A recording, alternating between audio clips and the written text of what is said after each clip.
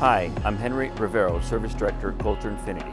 Our technicians and staff will take pride in servicing your vehicle and making sure your time is respected and your trust is earned. Hi, my name is Albert Sonko. I've been working for INFINITI for 17 years. Hi, my name is George. I've been working on INFINITIs for 13 years. Hello, my name is Robert I've been working on INFINITIs for 11 years. My name is Carlos and I've been working on INFINITIs for six years.